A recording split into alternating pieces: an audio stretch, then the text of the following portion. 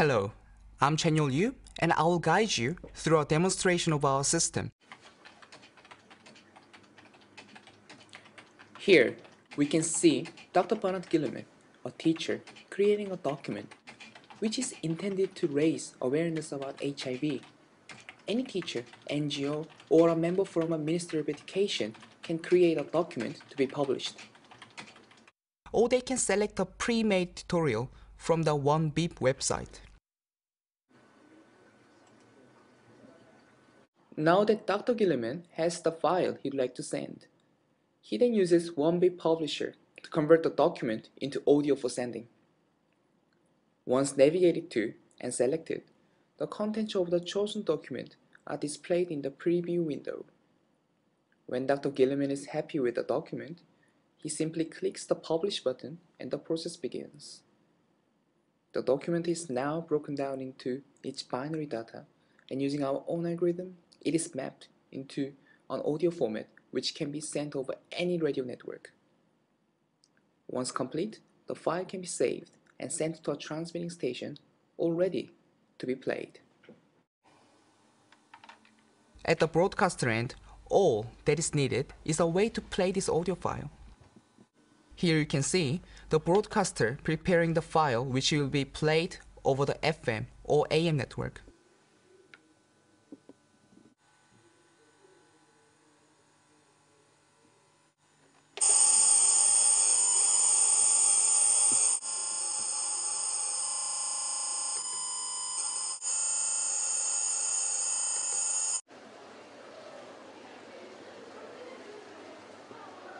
We are now at the receiving end with Mayank.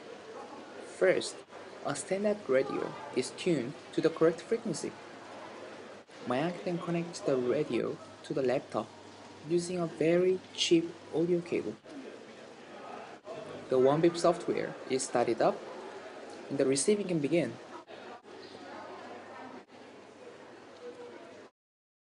With the radio connected to the laptop, Mayank can use OneBeep receiver to time the recording of the transmitted audio file. The actual length of this particular audio is about 40 seconds. However, for error correction and time reasons, 5 minutes is allowed to ensure the document is received in its full original format.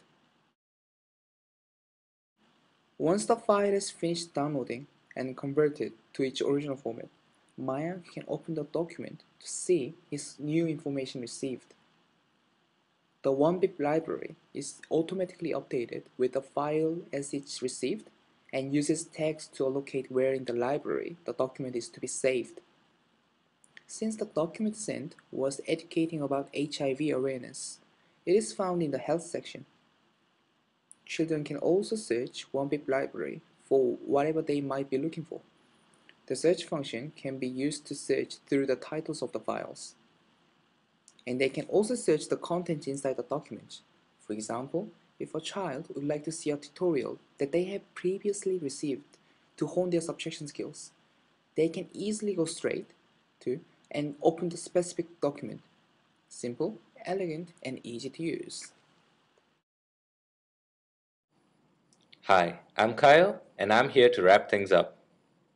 We have shown you here today the problem of illiteracy and why education is the foundation to all the other United Nations Millennium Development Goals. We have shown you our OneBeep solution and the change that it could influence. All in all, the OneBeep software is a complete package comprising of the OneBeep publisher, receiver, and library. This eliminates the hassle of distributing different softwares to different users. Throughout the development of our project, we have been in contact with a number of people who could help us make this idea into a reality. Here's what Jane Foster, Program Director of Oxfam, had to say about OneBeep. I'm Jane Foster. I'm the Program Director for Oxfam New Zealand. Oxfam works with a network of rural training centres in Vanuatu, providing much needed technical and vocational training to young people who live in very remote and inaccessible parts of the island nation of Vanuatu. one of the key ways that they use to communicate with the Rural Tra- Training Centres network is a rural email uh, system based on VHF radio frequencies. We believe that the technological innovation that Team 1 Beep have achieved would enable them to extend this rural email network, increasing communication, increasing access to educational materials in an affordable, low cost way using really appropriate technology. Thanks to Peter Casey, a senior development engineer at Radio Networks New Zealand, we had a chance to successfully test out our system on a real radio station. He had this to say about our One Beep solution. He said the really exciting thing about One Beep solution is you can digitally connect laptops using AM radios, which are already available in third world nations. We have used state-of-the-art Microsoft technologies in developing the One Beep software. We have designed our software targeted towards primary school children so that it is simple, intuitive, and fun to use. Microsoft Visual Studio has been used to develop the OneBeep software's graphical user interface. For the OneBeep website, Microsoft Web Expression was used to deliver a rich and intuitive user interface.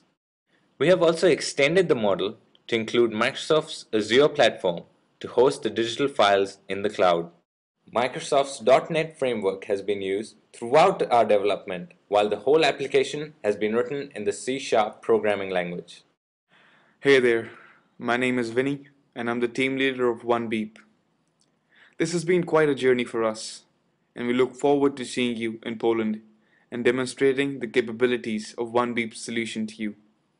Here is the team once again Chanyeol on the left, then me, Kayo, and Steve. One child, one life, one beep.